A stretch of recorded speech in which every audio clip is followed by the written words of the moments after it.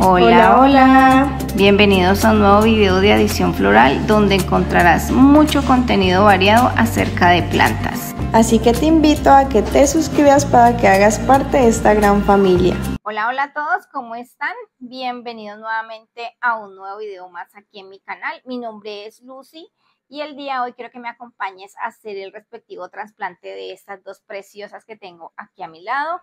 Y la primera es nada más y nada menos que mi monstera albo variegada. Esta necesito hacerle el cambio de sustrato, de matera y por supuesto aprovechar que le vamos a realizar su respectivo trasplante, pues también estaremos haciendo juntos eh, los tuctores para cada una de estas plantas, porque si se fijan, esta belleza ya empezó a sacar sus primeras raíces aéreas y si queremos que estas plantas se nos pongan pues bastante frondosas y bastante grandes y empiecen a desarrollar unas hojas totalmente enormes, necesitamos de hacerle su tutor desde que están así en este estado actual, que están bastante pequeñas, al igual que esta otra que es una monstera también, que por aquí en la parte superior de la pantalla les estaré dejando su ID. Esta principalmente sí requiere de un cambio urgente de materia porque si se fijan, ya se salieron sus raíces de aquí, de esta materita. También le estaremos realizando, por supuesto, su respectivo tutor. Así que, ¿qué dices si me acompañas hasta el final de este video para que no te pierdas ningún detalle? Y asimismo te enteras de cómo realizo yo los tutores para mis plantas trepadoras. Ahora sí, comencemos. Por aquí les enseño las materas que voy a estar utilizando para mis dos monsteras y si se fijan son eh, uno o dos centímetros más grandes de las que tienen actualmente estas plantas, así que me funcionan perfectamente. Recuerde que todas las plantas en general debemos de irlas trasplantando o hacer el cambio de materia de acuerdo a su tamaño inicial con que viene la planta y también teniendo en cuenta el sistema radical de ellas, ¿vale? Para que tengan eso presente y no vayan a correr riesgos de pronto de ir a perder a su planta. Por aquí también les enseño que ya tengo listo el sustrato que voy a estar utilizando para mis monsteras. Este sustrato también lo voy a estar utilizando para hacer los respectivos tutores y ahora les explico en un momento por qué. Claro que también podemos usar lo que es la, eh, la pelucita de coco, eh, podemos usar lo que es el musgo sphagnum, que también nos funciona perfectamente y es ideal para estas plantas, pero cuando no tenemos esos dos materiales disponibles, pues tenemos otro tipo de recursos. Este nos funciona perfectamente. Vamos a estar colocando por acá a un ladito lo que es el sustrato, las materas y también nuestras plantas para enseñarles rápidamente los materiales que vamos a estar utilizando para realizar nuestros respectivos tutores, que básicamente son tres, como lo son este acetato, que no es indispensable, lo podemos realizar de otra forma, que ya más adelantico les voy a estar enseñando, pero en este caso yo tengo este poquito, así que espero que me alcance, porque de igual forma pues no necesitamos de realizar un unos tutores bastante grandes porque las plantas no lo requieren aún. También vamos a estar necesitando estas amarras para poder fijar bien nuestra malla al acetato. Y al igual que necesitaremos estas mallas que tengo por aquí, que son indispensables para poder realizar eh, los tutores, ya sea blanca, negra, o este verde que tengo por aquí. Eso ya queda pues a elección de cada uno de ustedes, mis bellezas, eso ya es al gusto de ustedes. Lo que sí tengan en cuenta es que a la hora de comprar las mallas, procuren de que los orificios de estas sean un poco más pequeños porque si se fijan, por aquí les voy a mostrar eh, para que vean la diferencia y es que estas tienen los orificios un poco más grandes que estas. Miren si se pueden dar cuenta, los orificios son un poco más grandes de la blanca que de la verde y de la negra también igual son iguales a los de la blanca, son súper grandes, pero no se preocupen porque de todas maneras nos funciona perfectamente. Aquí vamos a estar realizando eh, los tutores, ya sea uno con malla verde y el otro con la malla eh, negra que tiene los orificios un poco más grandes y se van a dar cuenta que ambos nos funcionan perfectamente. Lo importante es que el tutor quede funcional para estas plantas. Por supuesto, también vamos a estar requiriendo lo que es la tijera. Eh, en mi caso, para poder yo perforar este acetato, voy a estar utilizando lo que es el cautín, pero eso ya, eh, ya es a elección de cada uno de ustedes. Como les digo, ya ustedes lo que tengan en casa y con lo que se sientan más cómodo, pues esos son los materiales que ustedes van a implementar para poder realizar los respectivos tutores. Aquí yo me les adelanté un pasito, no vayan a creer que mucho. Lo que pasa es que quise adelantarme un poquito para que este video no vaya a quedar como muy extenso y no se me vayan a aburrir. Por supuesto, tampoco se me vayan a ir a mitad de camino. Entonces, lo que yo hice fue ya adelantarme cortando lo que es el acetato, haciéndole los orificios, y también cortando la respectiva malla que vamos a utilizar para esto. Rápidamente les voy a explicar cómo lo hice los cortes.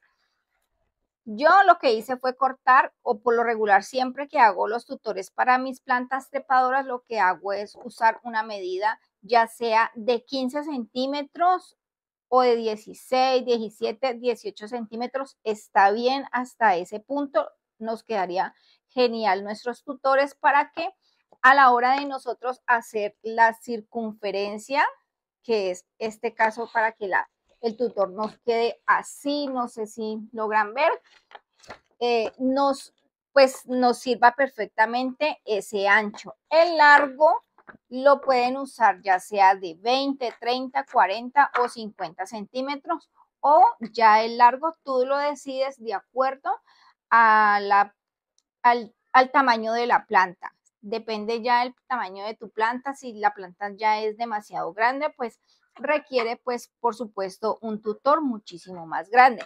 En este caso, yo voy a usar unos tutores pequeños porque como se dieron cuenta, eh, mis plantas aún están pequeñas y apenas van a iniciar a trepar. A medida de que ellas vayan requiriendo, pues, una extensión del tutor, por supuesto que lo vamos a ir añadiendo porque con este tipo de tutores se nos presta fácilmente para poder seguir haciéndole una extensión. Aquí quiero que tengan en cuenta varias cositas eh, a la hora de realizar eh, los tutores y que no vayan a tener ninguna dificultad a la hora de su realización porque entre ensayo y error aprendí a hacerlos porque no, tuve en cuenta pues muchísimas cosas, simplemente me aventé a hacerlos y había unos que me quedaron no muy buenos, otros ya les fui cogiendo como eh, la práctica, pero caí en cuenta fue de varias cosas.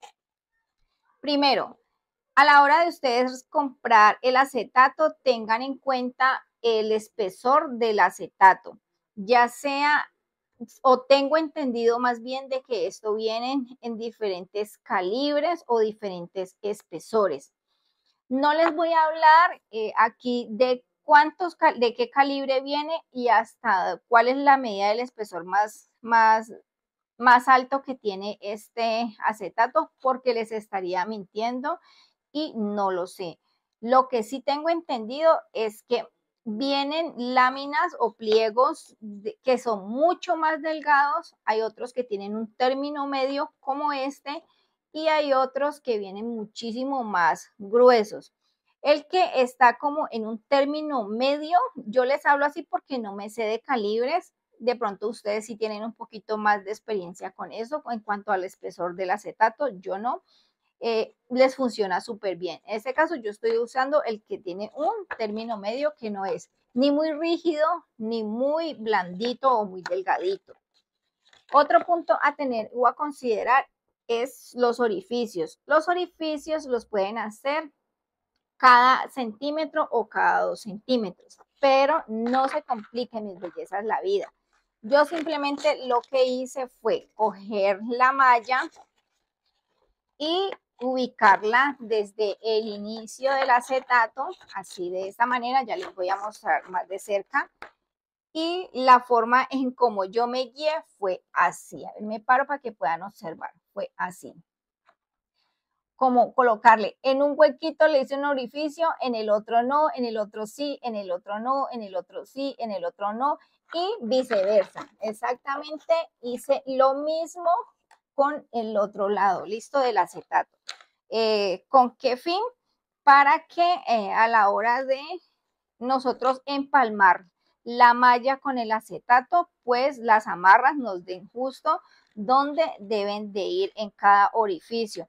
Porque si lo hacemos al ojo y no, me, no tenemos en cuenta los orificios de la malla, pues lo que puede pasar es que eh, a la hora de hacer los amarres, pues no nos concuerden los huequitos que ya realizamos en el acetato con los huequitos de la malla. En cuanto al ancho de la, de la malla, yo no me complico la vida. Yo lo que hago es que cuando ya he medido los 15 o los 16 o 17 centímetros que necesito de ancho del acetato para que me pueda dar perfectamente la circunferencia que necesito para poder eh, empezar a rellenar, pues eh, con el sustrato correspondiente, yo lo que hago es que ya después de cortado el acetato, simplemente coloco la malla y la corto con un poquitico más de la mitad de lo que tiene el ancho el acetato ya recortado. ¿Listo? Esa es la, guía más fácil que ustedes pueden tener. Siempre la malla debe de ser eh, mucho más angosta que el ancho del el acetato y pues sus respectivas amarras. Aquí en Colombia nosotros las conocemos como amarras, no sé, ustedes las conocen como ligas, eh, no sé con qué otro nombre lo conozcan, pero son estas amarritas plásticas, ellas vienen en colores blanco, transparente y así negritas, creo que también verdes las consiguen.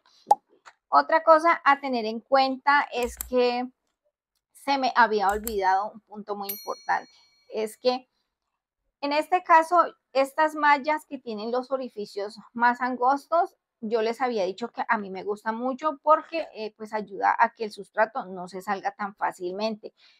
Pero si tenemos plantas como en el caso de las monsteras que nos sacan raíces aéreas que son bastante gruesas y cuando la planta está más adulta, pues las raíces son aún más gruesas pues este tipo de mallas que tienen los orificios muchísimo más grandes nos funcionan aún eh, mejor porque las raíces no se van a estrangular en el momento de querer entrar, sino que lo van a hacer con mucha facilidad, a diferencia de esta malla que eh, tiene los orificios más angostos. A mí me gusta usar estas mallas para lo que son plantas que no desarrollan a raíces aéreas como tan como tan gruesas como por ejemplo las raíces del filodendro pink princess. Eh, no sé de esta monstera que se parece a una monstera y que no lo es. Eh, si también eh, desarrolle ese tipo de raíces igual a las de las monsteras albo, pero pues vamos a usar para ella esta malla que tiene los orificios un poco más angostos y para la monstera albo que sé que saca unas raíces muchísimo más gruesas, vamos a usar esta malla que tiene los orificios mucho más grandes. Entonces, por eso les digo que con ambas eh, mallas nos funciona perfectamente. Aquí yo ya las tengo cortadas también. Así que simplemente vamos a empezar a armar nuestro tutor.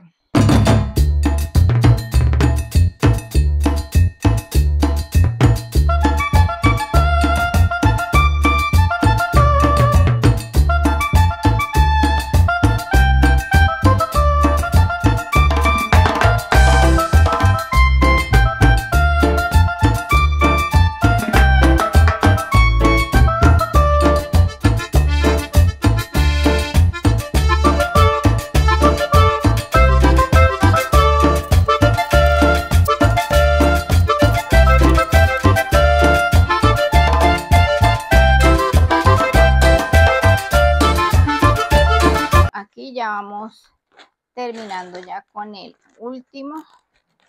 Y lo que les estaba diciendo es que no procuren de no apretar muchísimo las amarras porque si las eh, cerramos hasta el tope, lo que pasa es que eh, no nos va a quedar totalmente recta esta, esta mallita que es lo que necesitamos que quede totalmente plana sin, y sino que nos va a quedar también como con una curvita así, que es lo que no queremos. Entonces, eh, procuren de no hacer como mucha fuerza y también porque pueden reventar eh, o rasgar el acetato. Así que procuren en lo posible de no eh, amarrar tan fuerte este tipo de liguitas. Cuando estén iniciando a hacer el tutor, también procuren de en lo posible de dejarlas un poco sueltas mientras terminan y ya cuando hayan terminado, pues entonces así. Ahora sí, proceden a apretarlas un poquito, pero no con mucha presión o con mucha fuerza para que no se vaya a rasgar ni el acetato ni esto nos vaya a quedar con curva, listo. Y así es como él ha quedado. Ahora simplemente lo vamos a meter a la matera y vamos a empezar a rellenar junto con el sustrato que le vamos a incorporar a nuestra planta, que es el mismo. Aquí por lo menos yo le dejé este, si se dan cuenta, esta malla es más corta que el acetato. ¿Por qué? Porque el día de mañana, si yo necesito usar una extensión, lo puedo hacer libremente eh, colocándole otra extensión de, de, este tutor que acabamos de realizar y simplemente lo seguiríamos añadiendo con las mismas amarras plásticas. Hay muchísimas formas de nosotros realizar tutores. Si no tienes para hacer eso, pues simplemente usa un tronco que también es genial, pero procura de que ese tronco o ese palito que tú hayas conseguido en la calle eh, sea bastante como carrasposito, ruñosito, que no sea totalmente liso, para que las raíces se le facilite muchísimo mejor eh, adherirse a ese tronquito. También funciona ideal porque yo tengo eh, plantas que no las tengo necesariamente eh, con tutores, sino que las tengo es con un tronquito que me he encontrado en la calle, se la coloco y ahí les ha funcionado súper bien. Lo importante es cuando recién iniciemos, es como les digo, empezar a hidratar nuestras raíces diariamente para que ellas puedan tener esa flexibilidad de irse adheriendo al tronco o al tutor y vamos a empezar primero con esta belleza que es la monstera albo que no está muy variegada pero a mí me fascina. Estas plantas y yo sé que conmigo se van a poner muchísimo más variegadas si se fijan esta es una hojita nueva que apenas eh, recientemente abrió y si se dan cuenta está con una tonalidad un poco más blanca y lo que quiere decir que es un muy buen síntoma porque puede seguir de ahí en adelante desarrollándome hojitas muchísimo más blancas. Pero eh, lo bueno de estas monsteras que no son tan albinas, eh, primero son un poco menos costosas. Y segundo, porque estas plantas pues no son para nada económicas, mis bellezas. Ustedes saben que las monsteras albo son mucho más costosas y vienen en un tamaño bastante pequeño que una monstera Thai. Entonces, estas plantas, entre más variegadas sean, pues son bastante costosas. Miren su sistema radical como se ve de precioso. Están bastante sanas. Sus raíces y vamos a posteriormente a sacar de una vez también esta para mirar también cómo está eh, su sistema radical. Esta sí tengo un poquito de miedo porque estas raícitas están bien adheridas a la matera y pues no quiero que se vaya a ver afectada la planta porque en este caso esta monstera sí tiende como a resentir un poquito el trasplante, cuando manipulamos como sus raíces, ella sí se eh, entristece un poquito por unos días, ¿no? Pero sí a veces le cuesta eh, volverse como a recuperar nuevamente de ese estrés que sufre de, de, de la manipulación de sus raíces. así que debemos de quitarle esa materia con muchísimo cuidado. Aquí lo estoy haciendo eh, las dos, de una vez le estoy retirando el sustrato y la materia a las dos de una vez. Pero les cuento que esta sí está como un poco difícil. Voy a intentar hacerlo lo más lento posible para que eh, no se vayan a lastimar sus raíces. La verdad es que no quiero reventar ninguna de ellas. Si se fijan está bastante adherida. Entonces yo lo que hago es tratar de introducirlas para que ellas puedan ir subiendo eh, cuando yo empiece a alar la, la planta desde la parte de arriba o de la parte superior y así se despegan fácilmente. Si se fijan que pueden soltarse sin necesidad de lastimar eh, sus raíces. Miren cómo se ve. No le quiero retirar mucho el sustrato porque no quiero que se resienta mucho. No tiene un sustrato para nada malo. Es como mucha cascarilla de arroz y como, como pedacitos de, de corteza de pino. Así que a ella sí la voy a dejar así tal cual porque ella sí se resiente mucho más que, que la monstera album. Vamos a colocarla acá a un ladito. Bueno, aquí yo ya me les adelanté un poquito. Si se dan cuenta, ya rellené un poquito el tutor eh, de sustrato y simplemente lo que hacen es que con su mano la pueden meter fácilmente e ir haciendo una leve presión para que ese sustrato vaya bajando no lo procuren de no hacerlo tan bruscamente tampoco para que no se vaya a compactar demasiado ese sustrato porque eh, si no las raíces pues de, la, de las plantas también se les va a hacer difícil poder entrar y nadar dentro de él. Este tipo de, tutores a mí me gusta mucho porque eh, las monsteras en especial tienden a sacar esas raíces aéreas bastante gruesas y lo que pasa es que se, cuando ya están muy largas, ellas traspasan como, como la parte de atrás del tutor, que es el tutor que yo les enseñé que si no tienen acetato lo pueden hacer de esa manera, también funciona bien, pero no me gusta es por eso, porque aquí simplemente estoy acomodando la planta, porque cuando ellas desarrollan esas raíces aéreas tan gruesas, ellas traspasan como, a ver, les muestro, como como la malla hacia acá, entonces van a quedar como expuestas o, no van a quedar como fijas. Entonces, lo que hace o ayuda este tipo de tutores es que eh, las raíces lleguen y se estrellen aquí y puedan desarrollarse ya sea para abajo o para arriba eh, y se puedan seguir estableciendo, pero dentro del tutor. Aquí simplemente yo ya la organicé y ahora no tengo es un alambrecito porque por lo regular yo siempre utilizo es como un alambre. Eh, ya les explico cómo lo hago. Voy a empezar a rellenar y ya les enseño finalmente cómo me queda trasplantada esta niña vale aquí ya me quedó totalmente trasplantada y ya amarrada a su tutor. Lo que hice fue colocarle unas amarritas temporalmente no lo hagan en sus casas, mis bellezas, y de pronto se van a olvidar de estar monitoreando o supervisando este tipo de plantas y más si le colocamos este tipo de amarras, porque si la colocamos con con mucha fuerza o apretamos muchísimo, pues podemos ahorcar a nuestra planta.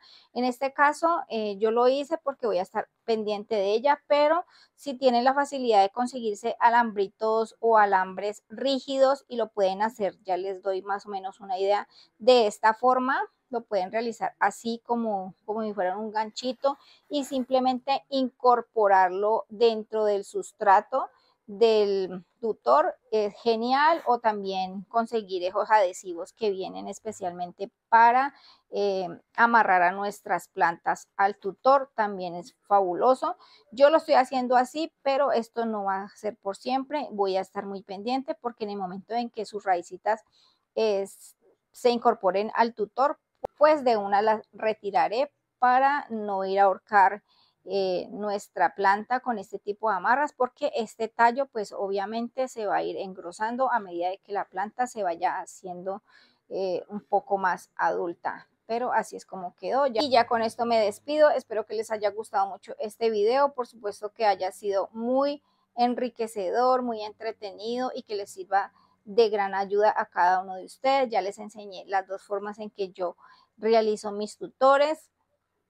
Eh, la forma más fácil y económica para realizar eh, este tipo de soportes para nuestras plantas trepadoras. Si no tienes, como les digo, puedes usar un palito. Lo importante es que ese tronquito o esa tablita o esa maderita siempre eh, esté sus raíces constantemente hidratadas para que las plantas se puedan aferrar más fácilmente y se puedan desarrollar pues muchísimo mejor. Así que no siendo más, eh, mm, ya nos estaremos viendo muy pero muy pronto en otro video. No te olvides de suscribirte, darle like, activar la campanita de notificaciones y nos vemos en el próximo video. Chao, chao.